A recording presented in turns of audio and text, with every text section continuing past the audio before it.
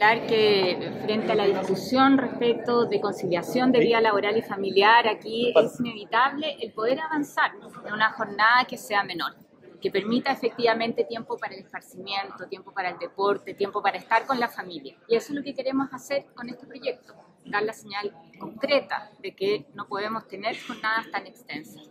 Esto tiene que además ser una oportunidad, ser una oportunidad para enfrentar situaciones que hoy día nos preocupan, como el aumento de licencias en materia de salud mental en los trabajadores y trabajadoras en nuestro país, que pareciera ser algo que no existe, algo invisible, pero que afecta a las personas, afecta a su salud, también afecta su rendimiento. Y por lo tanto, yo espero que podamos avanzar desde lo positivo en la tramitación de este proyecto, pero además asociado a cómo mejoramos la productividad.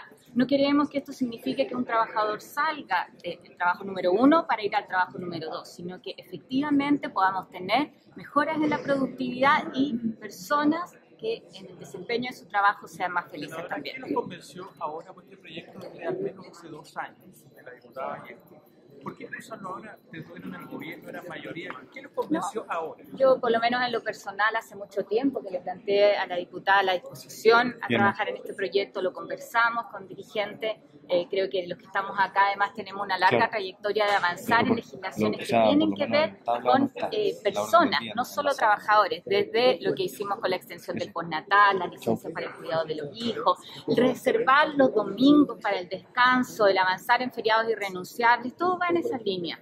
Eh, lo que pasa es que hoy día, y yo me alegro de eso, se genera un movimiento que es más transversal. Está el debate puesto sobre la mesa respecto de conciliación de vida laboral y familiar y creo que es un momento oportuno para avanzar también en este proyecto.